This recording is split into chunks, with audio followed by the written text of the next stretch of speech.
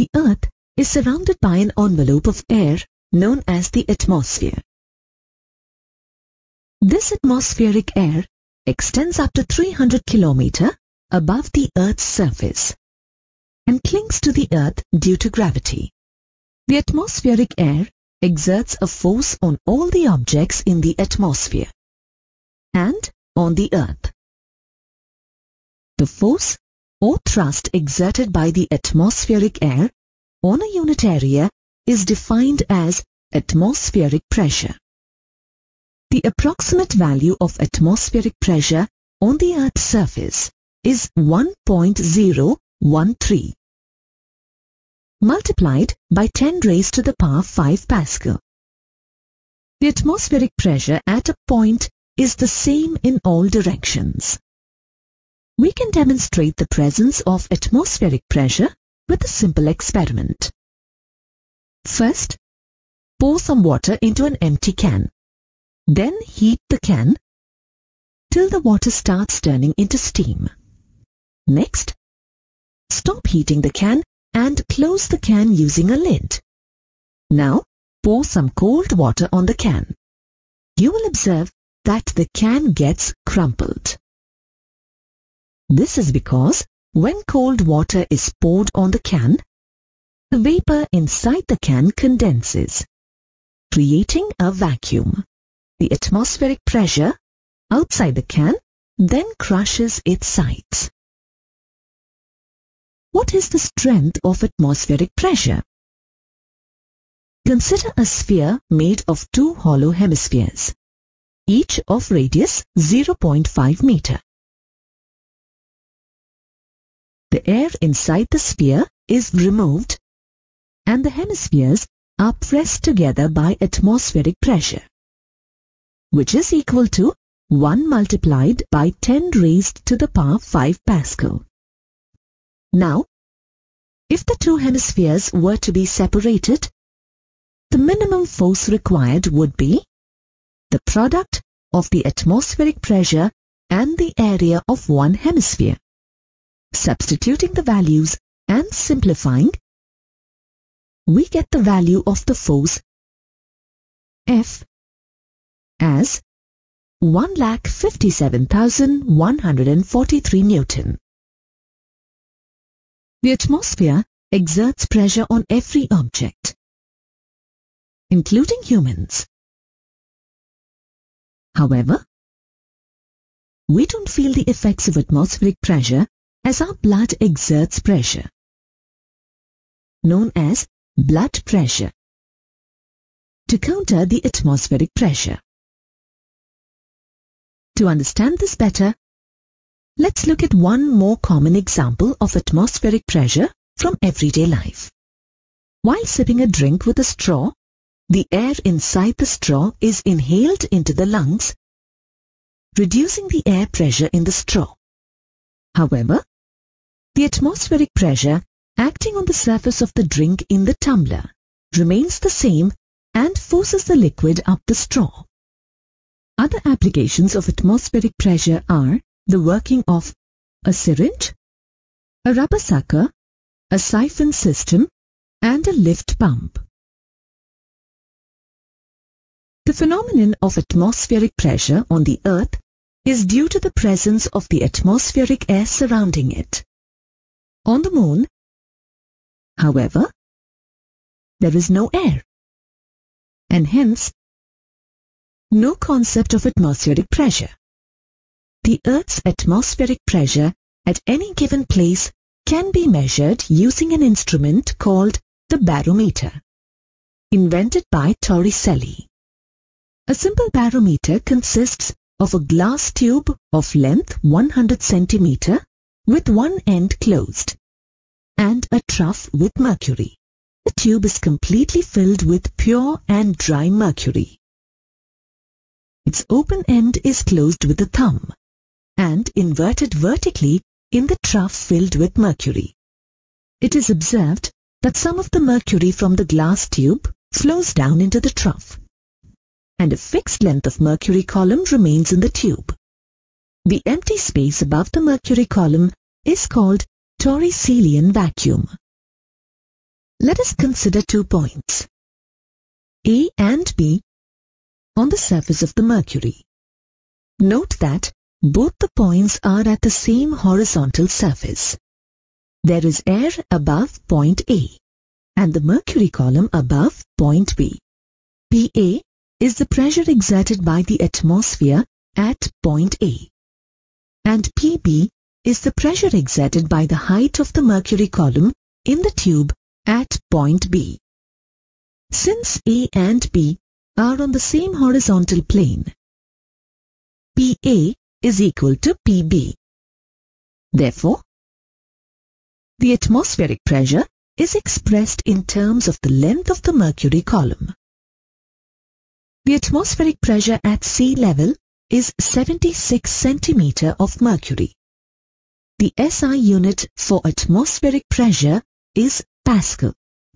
Let's calculate the atmospheric pressure at sea level in Pascal. The atmospheric pressure is equal to the pressure exerted by a mercury column of height h. The atmospheric pressure is equal to the product of the height of the mercury column the density of mercury and the acceleration due to gravity. This is equal to 1 lakh 1293 Pascal. Example 1. Instead of mercury, if iodine of density 4920 kg per cubic meter is used in a barometer, then what will be the length of the iodine column if the atmospheric pressure is 76 centimeter of mercury? Let the height of the iodine column be h. Pressure exerted by iodine column is equal to pressure exerted by 0.76 meter of mercury. Substituting and simplifying the values, we get the height of iodine column as 2.1 meter. Mercury is used as a barometric liquid because its density is the highest among liquids. It is readily available in pure and dry form. At normal temperatures, its vapor pressure is negligible. Hence, there are no mercury vapors above the mercury column. It is easy to note mercury readings because it is a shiny and an opaque metal. And it does not stick to the sides of the glass tube. This brings us to the end of the introductory module on atmospheric pressure.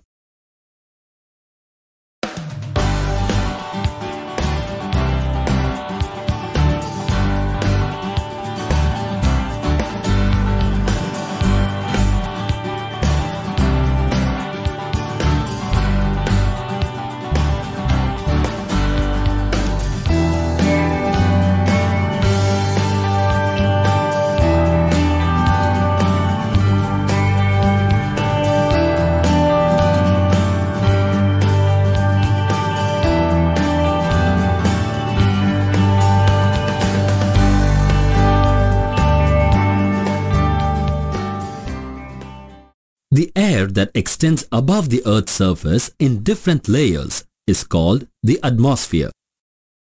The pressure exerted by the atmosphere is called atmospheric pressure. Air exerts pressure as it has weight. Air pressure is the highest at the sea level. Although air exerts pressure on our body from all sides, we are not aware of it because the blood in our body exerts an equal and opposite pressure from the inside. Air pressure decreases at higher altitudes because the height of the air column decreases, which causes a linear decrease in air pressure. Air pressure decreases at higher altitudes also because the density of air decreases. Air pressure decreases by about 3% for every 1000 feet of increase in height.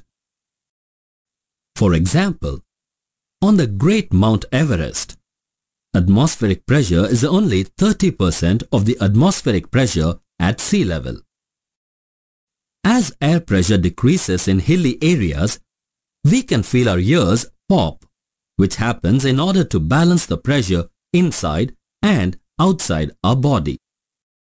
The decrease in air pressure may cause the nose to bleed, especially if the individual has high blood pressure. This is because the air pressure cannot completely counterbalance the blood pressure, causing the blood vessels in the nose to rupture. That is why doctors advise blood pressure patients to avoid going to hill stations. So, what about aircraft? Why doesn't your nose bleed when you fly in an aeroplane? This is because aircrafts have pressurized cabins that have sufficient air pressure to safeguard the passengers. Thus, atmospheric pressure decreases with altitude due to decrease in the height of the air column, which causes a linear decrease in atmospheric pressure. Decrease in the density of air, which leads to a decrease in atmospheric pressure.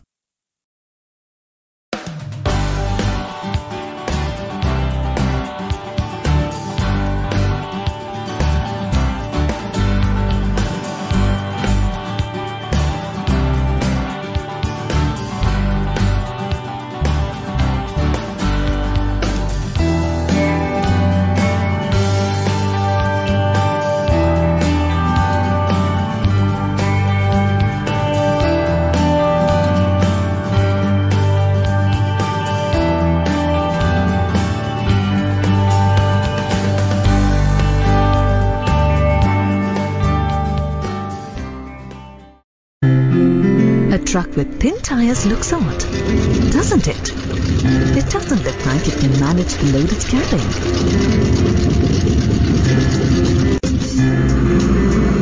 As we all see, trucks need wide tires. On the other hand, let's look at a housewife trying to chop vegetables with a thick, blunt knife. She's not having much success. To chop efficiently, she needs a knife with a sharp blade. What is the significance of the width of the tires and the sharpness of knife in these cases? This can be explained through the concept of thrust and pressure. The truck needs wide tires to reduce the pressure of the cargo. The knife needs a sharp blade to increase the pressure exerted on the vegetables. In this lesson, you will learn about thrust and pressure, with special emphasis on thrust and pressure in liquids. At the end of this lesson, you will be able to define thrust and pressure, differentiate between thrust and pressure, calculate thrust and pressure in given situations, explain the effect of pressure exerted by fluids, Derive the expression for calculating pressure in fluids.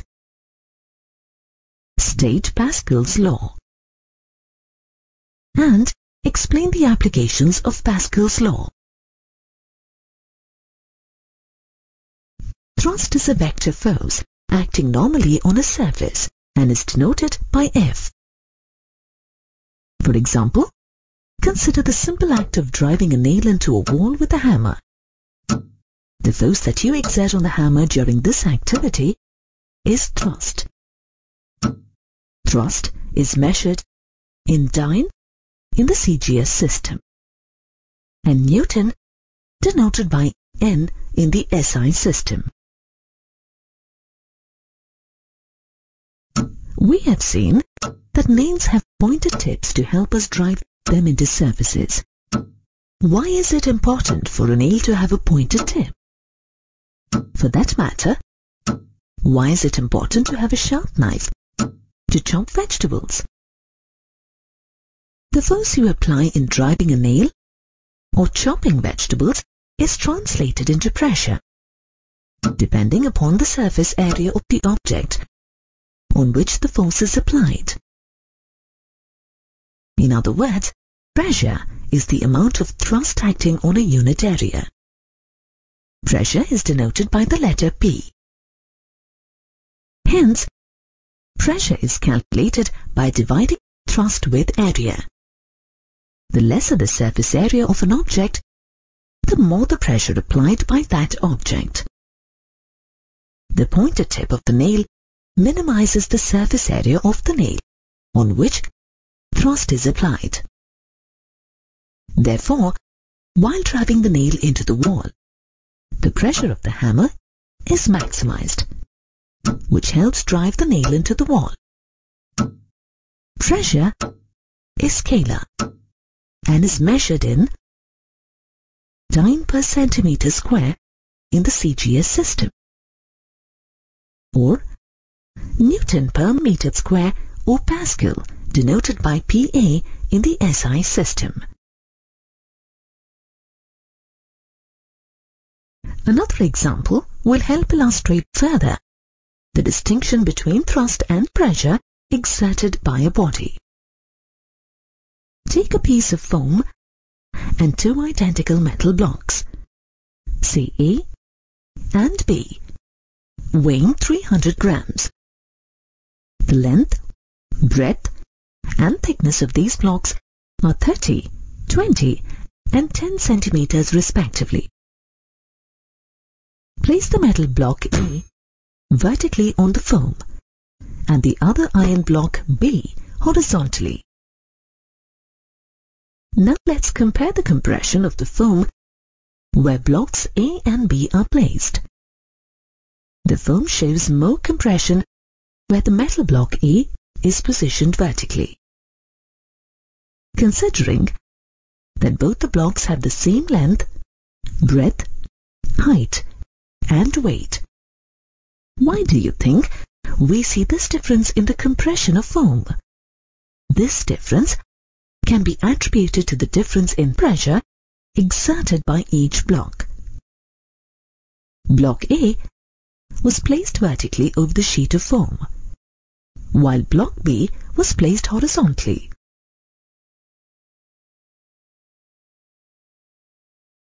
The surface area of block A in touch with the foam is 200 square centimeters. On the other hand, the surface area of block B in touch with the foam is 600 square centimeters. Using the formula for pressure, we can now calculate the pressure of blocks A and B on the foam. The pressure of block A on the foam is 1509 per centimeter square. The pressure of block B on the foam is 509 per centimeter square. Thus, in block A, the same thrust was acting on a smaller surface area. Hence, the pressure exerted by block A was higher. This explains why the foam showed more compression where block A was placed. The thrust exerted by a body remains constant placed in any position. However, the pressure exerted by the body changes with a change in positions.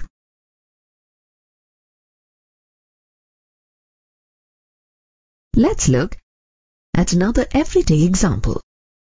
You may have used chairs in which the seat is created from plastic wave. These chairs are quite safe to sit on. However, if you try standing on such a chair, the plastic wire may give way under the strain. This is because when you stand on the chair, the area of contact becomes much smaller and the pressure on the wire crosses the safety limit. In both the cases, the weight of the man that is the downward force acting on the chair, is the same. However, the area on which it is acting has changed, leading to change in pressure exerted on the seat of the chair. So far, we looked at examples of thrust and pressure in solids. However, thrust and pressure are equally applicable to the other states of matter, liquids and gases. Liquids and gases are collectively referred to as fluids. Since all fluids have the tendency to flow, like solids, fluids also have weight and this weight exerts a force on the walls and base of a container. We can demonstrate the effect of pressure in liquids through a simple example using a plastic bottle. Fill the plastic bottle completely with water. Then make a small hole in the lower half of the wall of the bottle. You will see that the water gushes out through the hole with considerable force. This force is due to the pressure of the fluid at that point.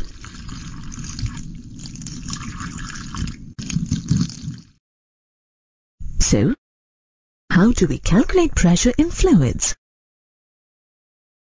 To derive an expression for pressure in fluids, let's consider a beaker filled with a fluid, say water, of density D, to a height h. Drop a coin with the area of cross-section A into the beaker. The volume of the water column above the coin V is equal to area of cross-section of the coin multiplied by the height of the water column. This gives us equation 1. Volume V is equal to A multiplied by H. The mass of the water in column M is the product of the volume of the water and its density. Thus, M is equal to V multiplied by D. Substituting equation 1 in the expression for mass, you get equation 2. That is, M is equal to product of A, H and D. As you know, weight of a substance is a product of its mass and the acceleration due to gravity, g. Therefore, weight of the water column, W, is equal to the mass of the water column multiplied by g. Thus, W is equal to m multiplied by g. Substituting equation 2 here, you get equation 3. Weight of the water column acts normally on the object. Thus, the pressure P acting on the coin is the ratio of weight of the water column to the area of the coin. That is, P is equal to W divided by A. From equation 3, we know W is equal to product of A, H, D and G. This gives the expression of fluid pressure P.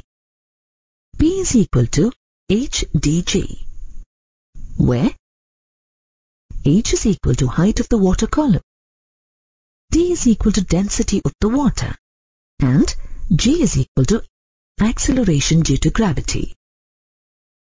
Using this expression, you can calculate the pressure applied by a fluid in the walls as well as the base of a container.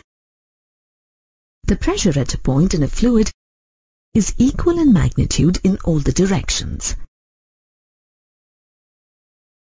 Now let's look at some applications of the concept of pressure in our everyday life. You may have seen a warning at the back of trucks moving on highways. Caution!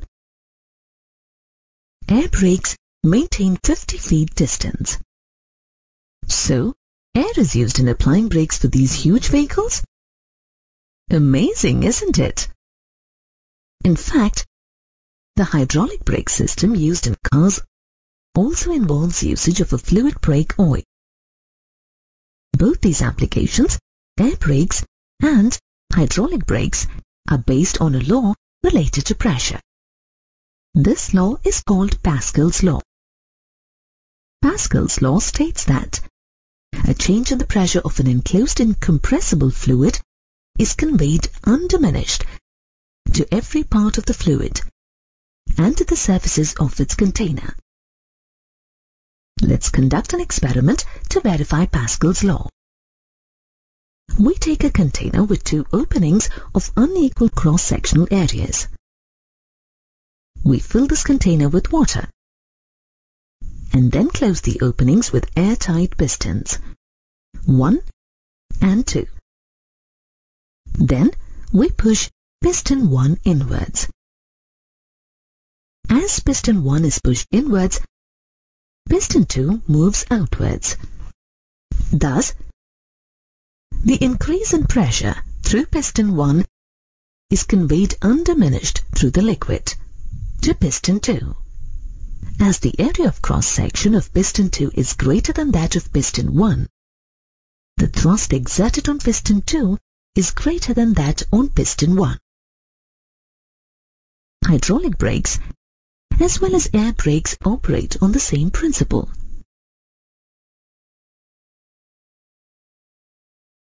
Let's see how this principle is applied in the construction of hydraulic brakes. A hydraulic brake system consists of a brake pedal, a piston, a master cylinder, four hydraulic lines, four brake cylinders, eight brake pistons, four wheels, four restoring springs. Now let's see how hydraulic brakes work. The master cylinder and the brake cylinder are connected to a thick copper pipe called the hydraulic line. Thick brake oil is filled in the master cylinder and the brake cylinders and they are fitted with airtight pistons. The master cylinder is connected to the brake pedal. A brake cylinder is connected to the metallic rim of each of the wheels. Now let's see how this arrangement of hydraulic brakes works to enable a driver to stop a car when driving. When the brake pedal is pressed, the piston in the master cylinder goes in forcing brake oil out with some pressure into each of the brake cylinders. At each brake cylinder, two opposed pistons attached to brake shoes are forced outwards.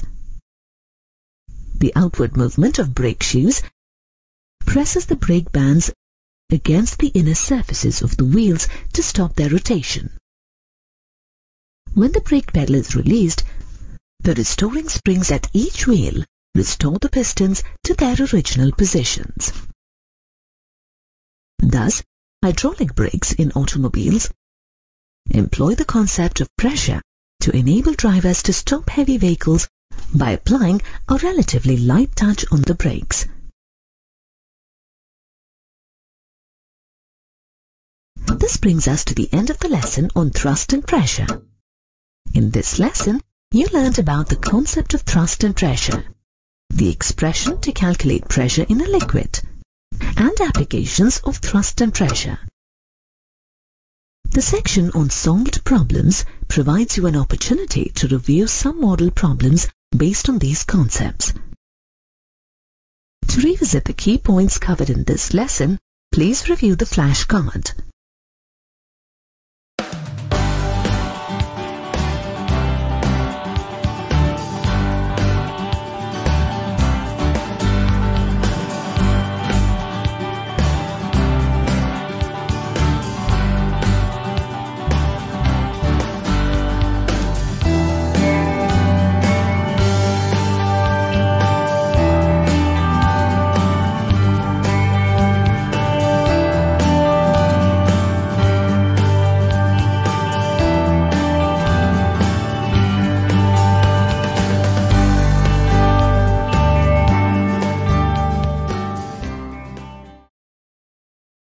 Consider a very small element of fluid in the form of a right-angled prism. A, B, C, D, E, F. Inside a fluid at rest. As the element is very small, every part of it is considered at the same depth and hence the effect of gravity is the same at all points of the fluid element. We know that the force exerted by the rest of the fluid on the element is normal to the surface. Let FA, FB and FC be the normal forces acting on the three rectangular surfaces of the prismatic element. AA, AB and AC represent the areas of the faces BEFC, ADFC and ADEB of the element respectively. PA, PB and PC represent the pressures acting on the areas AA, AB and AC. Geometrically, in the right-angled triangle ABC, BC is equal to AC cosine theta and AB is equal to AC sine theta. The forces shown are normal to the respective areas that include the sides. Thus, we have FB sine theta is equal to FC and FB cosine theta is equal to FA. Let us call this equation 1. As the thickness of the prismatic element FC is constant, the areas of the three sides of the prism can be expressed in terms of the trigonometric ratios as shown for the forces given by equation 2, which is AB sine theta is equal to AC and AB cosine theta is equal to AA. Dividing equation 1 by equation 2, we get FB divided by AB is equal to FC divided by AC which is equal to FA divided by AA. However, the ratio of force to area is equal to pressure. Thus, PA is equal to PB, which is equal to PC. Hence, we can conclude that the force against any area within a fluid at rest and under pressure is normal to the area irrespective of the orientation of the area. The pressure exerted at a point by a fluid at rest is equal in all directions. Hence, pressure is a scalar even though it is in the ratio of force, which is in general a vector to area. This is what Blaise Pascal postulated as Pascal's law. Pascal's law states that when external pressure is applied at a point in a fluid contained in a vessel, it is transmitted undiminished and equally in all directions. Let us understand it in detail using an activity. Consider a spherical vessel containing four cylindrical tubes A, B, C and D of area of cross section A, 2A, 3A and 4A. Each of these openings is fitted with an airtight piston. Let piston A be pushed with a force F. Then the pressure on the piston is F by A. Pistons B, C and D move out due to this pressure. However, pistons B, C and D can be held in their position only when the forces applied on them, that is, FB, FC and FD are equal to 2F 3F and 4F respectively. Then the pressure acting at B, C and D is 2F by 2A, 3F by 3A and 4F by 4A respectively, where each is equal to F by A. This experiment demonstrates that the pressure is transmitted undiminished in all the directions, which proves Pascal's law. A number of devices, such as a hydraulic lift, hydraulic press, and hydraulic brakes work according to this law. Let us look at each of them in detail. A hydraulic lift is used to lift or support heavy objects. It consists of two cylinders fitted with airtight pistons of varying cross-sectional areas. The two cylinders are connected to each other with a horizontal pipe, where the container is filled with an incompressible liquid. The load to be lifted is placed on the piston of larger cross-sectional area.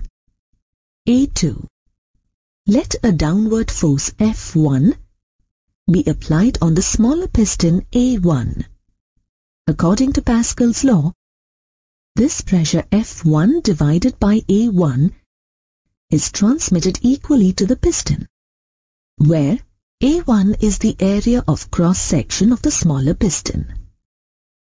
As this pressure is transmitted equally to the large piston, the upward force F2 acting on the load is equal to the product of the pressure and area of cross-section of the larger piston A2. As A2 is greater than A1, we have F2 greater than F1. Thus, with a very small force, heavy objects can be lifted using a hydraulic lift. The work done by the smaller force is equal to the work done by the larger force, as the displacement of the smaller piston is greater than that of the larger one. Here, the force F1 applied on the smaller piston is called the effort. And F2, the force required to lift the heavy object, is called the load. By definition, the mechanical advantage of a machine is the ratio of load F2 to effort F1. Substituting F2 with PA2 and F1 with PA1, we get the mechanical advantage as A2 by A1. Hence, we can write the mechanical advantage of a hydraulic lift as the ratio of the cross-sectional area of a larger piston to that of a smaller piston. Let us now study a hydraulic press. A hydraulic press is a mechanical machine used to lift or compress large loads. The schematic representation of a hydraulic press that works on force applied manually is as shown. In this machine, a smaller force applied on a column of liquid is converted into a much larger force acting on the load placed on another column of the liquid, connected to the first column. A hydraulic press consists of two cylinders, C1 and C2, fitted with pistons P1 and P2 and valves V1 and V2 connected with tube T1. Tube T2 connects the cylinder C2 with a water reservoir through a release valve. RV Piston P2 is a platform at the top of which the substance to be compressed is placed. Piston P1 is raised upwards by the application of force F at the handle edge of the lever. Upon the action of the handle, the valve V1 opens. The water from the reservoir is sucked into the cylinder C1. During this process, valve V2 remains closed. When piston P1 is pressed down, valve V2 is opened.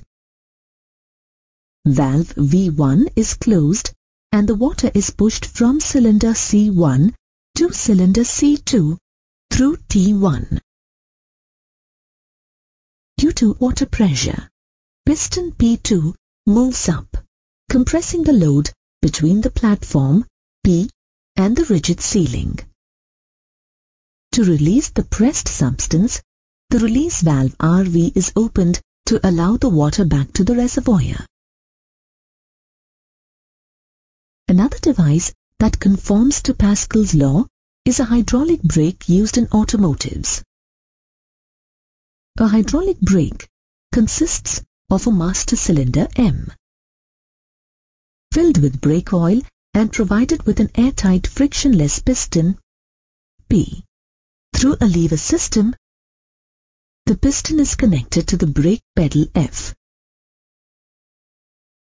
Through a tube T, the master cylinder is connected to a wheel cylinder C.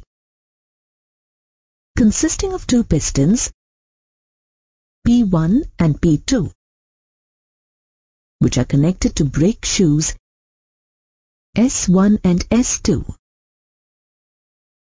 The same system is connected to the other wheels of a vehicle. When the brake pedal is pressed, the lever system operates, transferring the force to the piston P. The piston P is pushed inward, increasing the pressure in the master cylinder.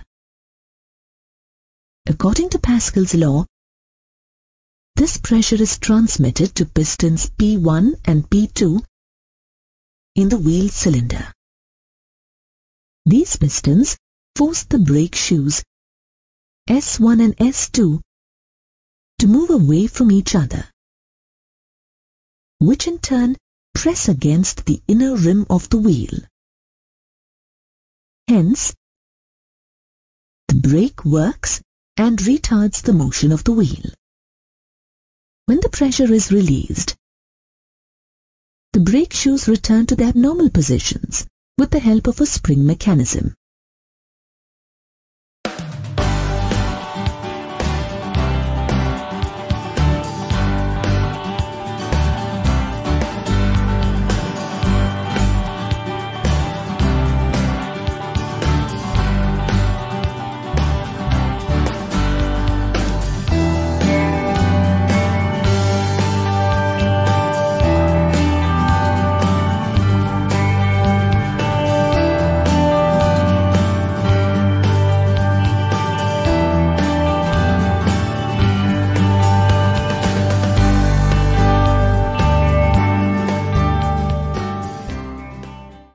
A barometer is an instrument used to measure atmospheric pressure. Fortin's barometer is a modified form of Torricelli's simple barometer. Fortin's barometer consists of a narrow glass tube of length about 90 centimeters. This tube is closed at one end. The tube is completely filled with mercury and kept inverted in a cistern filled with dry mercury. Usually, the glass tube is protected by enclosing it in a brass tube. The upper part of the brass tube has a slit that enables the level of the mercury in the glass tube to be seen. A scale graduated in millimeters is attached to the brass tube. This functions as the main scale. For accurate measurement, a vernier scale that can slide over the main scale is also fixed to the barometer. The vernier scale can be moved up and down using a screw. The bottom of the cistern is like a bag made of flexible leather. The mercury level can be adjusted by means of a screw provided underneath. There is an ivory pointer in the cistern placed at the top. The tip of this pointer coincides with the zero of the main scale. The level of the mercury column in the cistern can be changed with the screw under it. It is so adjusted that the ivory point is exactly at the surface of the mercury in the cistern. The whole apparatus is fixed in a vertical position. Let us now see how it works. Any change in the atmospheric pressure is accompanied by an immediate change in the level of the mercury in the glass tube. As the height of the mercury column in the barometer changes, mercury flows between the tube and cistern. As a result, the level of the mercury in the cistern also changes. To determine the length of the mercury column in the barometer, it is necessary to know the position of the free surface in the cistern as well as in the tube. The first step in measuring atmospheric pressure using Fortin's barometer is to set the mercury level in the cistern. Using the adjustment screw, set the level of the mercury in the cistern such that the ivory pointer just touches the mercury. The reading of the top of the mercury column is then measured using both the main scale and the vernier scale. Before the readings are noted, the vernier scale needs to be positioned properly. The vernier scale is to be adjusted so that its edge and the corresponding reading in the main scale just set tangentially to the meniscus. Now, the readings on the main scale and the vernier scale are noted, and the atmospheric pressure is calculated. Fortin's barometer is widely used in laboratories and in meteorological departments. The main advantages of Fortin's barometer are it is portable, it allows the mercury level in the cistern to be set to zero. This makes the reading more accurate.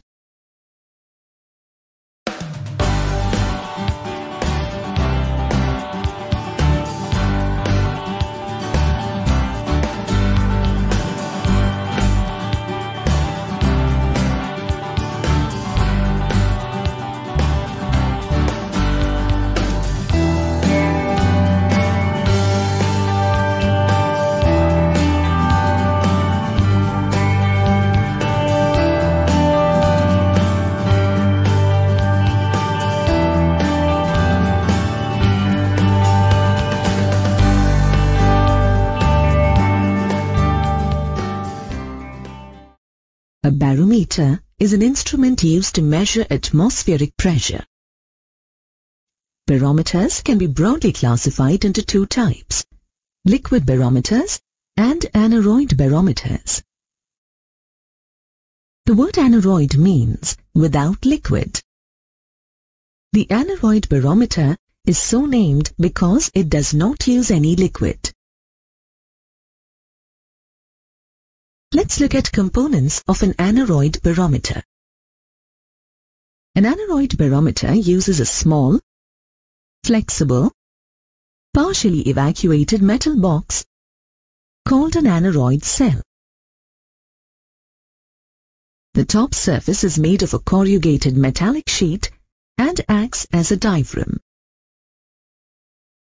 The metallic box expands or contracts in accordance with the changes in the atmospheric pressure. The resulting movements of the diaphragm are magnified with the help of a system of levers. The central lever of the system of levers is fixed at the middle of the diaphragm. One end of the central lever is connected to a spring. The spring prevents the evacuated metallic box from collapsing. The other end of the central lever is connected to the other levers of the system. The system of levers is further connected to a chain that passes over a pulley. A pointer that moves over a calibrated circular scale is attached to the pulley.